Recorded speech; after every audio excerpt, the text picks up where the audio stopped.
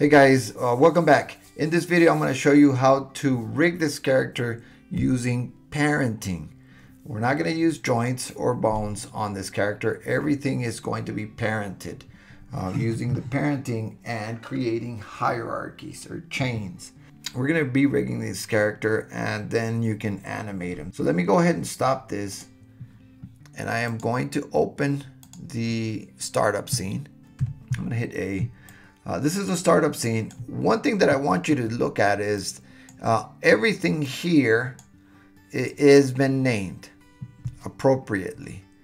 You have to be organized, otherwise you start to get very, very confused fast. This is a very, very simple character, just created from spheres and cylinders. Everything is a, every joint is a sphere, uh, and every body part is a cylinder, except for the hands uh, that was a pipe. You can go to Polygon Primitives and create a pipe. And the feet are just boxes. So again, everything right now is separate. Um, you can move any of these out of the way and you can see it's a very simple character. I'm going to undo those two uh, moves. Uh, the other thing that I want you to know is that I've frozen all the transformations. If you I'm going to create a simple box here. Uh, and I'm going to hit F to um, fit in the screen. And I am going to go to face. And I'm going to extrude this face. I'm going to extrude this. I'm going to extrude this. And then I'm going to extrude this. And now it's not the simple cube. It's just an object that I modeled. Uh, but I if I open up the attribute editor, you can see that all these extrusions, the history is piled up on here. So we're gonna need to delete all that history. Uh, and I'm gonna go to edit, delete by type history. So that takes care of that, frees up some RAM. And the next thing I'd like to do is if I go to the channel box, you see that I've moved this box. And even if I um, scale it, like this, like this, uh, you see the scale here and the move.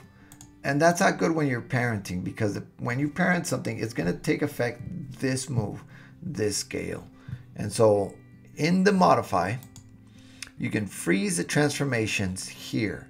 And what that does, it removes all of the transformations that you've done so far. So I'm going to hit freeze transformations and everything goes back to zeros. And of course the scale is one.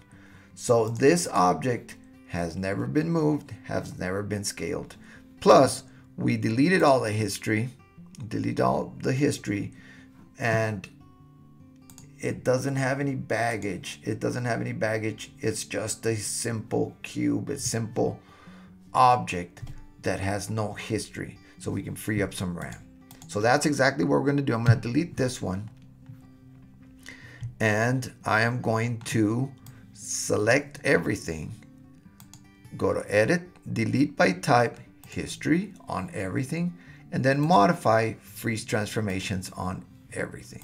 So anything I click on would be zeroed out. Even though I rotated and scaled this cylinder, it doesn't matter. Everything has been zeroed out. Now we can get started. So again, the, the two things that you need to remember before you start parenting is be organized, name all your objects, and freeze the transformations.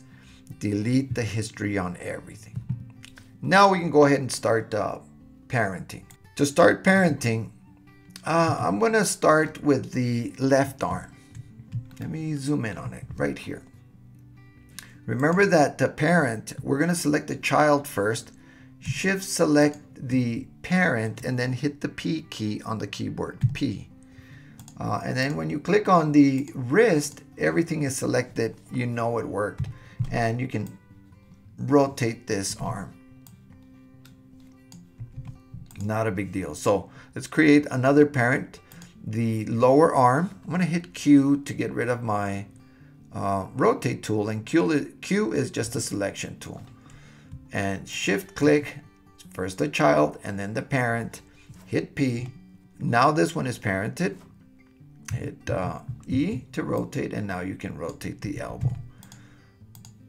select the upper arm, shift select the shoulder, hit P. So now you can see here in the outliner, we have three, one, two, three different chains. Right now they're not working together. If I rotate my shoulder, the upper arm goes with it, but not the rest of the arm. Um, likewise with the elbow, the lower arm goes with it, but not the hand. And so we have to tie all these together. I'm going to undo that. There we go. And so now we have to select joint to joint, the wrist to the elbow, hit P, and then the elbow to the shoulder, and then hit P. Now we have one hierarchy. I'm going to open this up so you can see it. We have one hierarchy. The shoulder is the parent for all the arm. There we go. And then the um, elbow, and then the wrist. And so now that's working. I'm going to undo that and get it done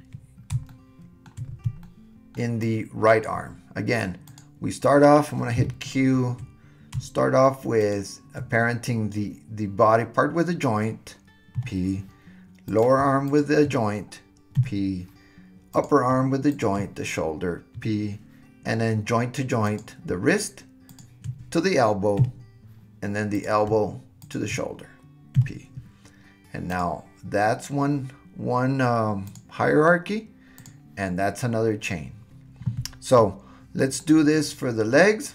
We start at the bottom, the, the foot to the ankle, hit P, the lower leg to the knee, hit P, the thigh to the hip, P.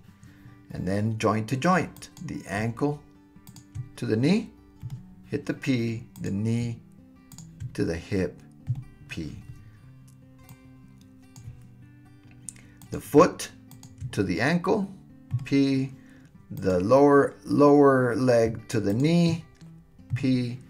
The thigh to the hip, P. And then the ankle to the knee, P. And then the knee to the hip, P.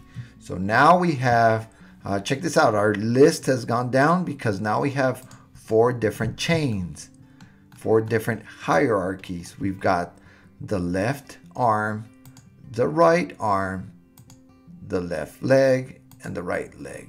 Now we have to do this one. This one is also considered a chain. Um, it's not a limb, but it's a chain. We're going to go the head is the tip, it's like the hand, to the neck, which is like the wrist.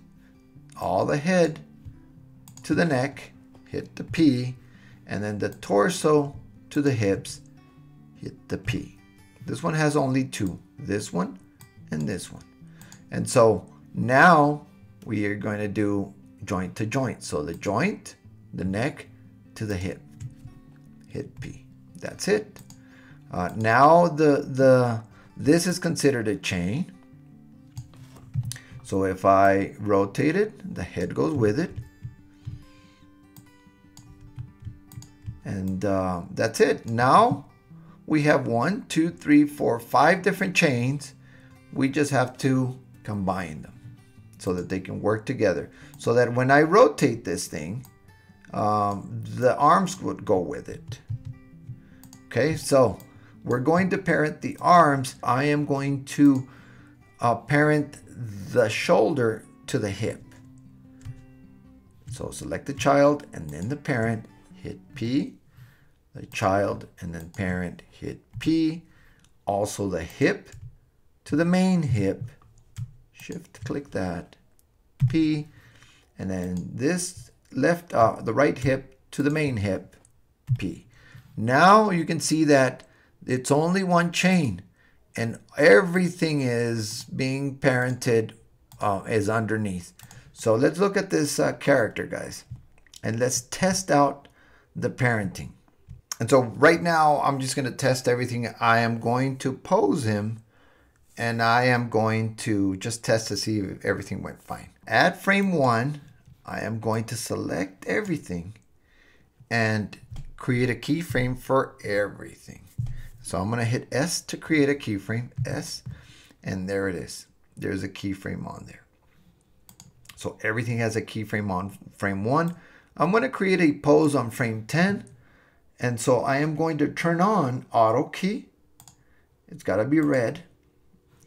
And therefore, since everything already has a starting keyframe, that means that auto key will take effect as soon as I move it. And I'm going to rotate this joint down. And you can see automatically there's a keyframe. And so I'm going to push it back a little. And then the elbow, I'm going to push it forward.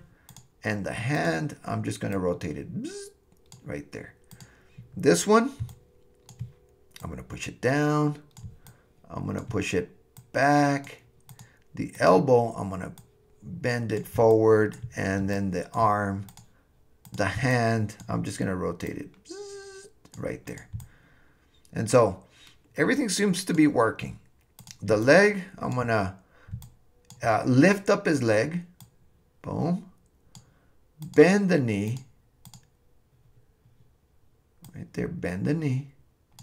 And extend the ankle. If this happens to you where you click on something and you can't click on it, just hit Q for the selection tool. And then you can select the ankle. And then you can go back, hit E to rotate. And so there's his leg. And so we've uh, created a pose.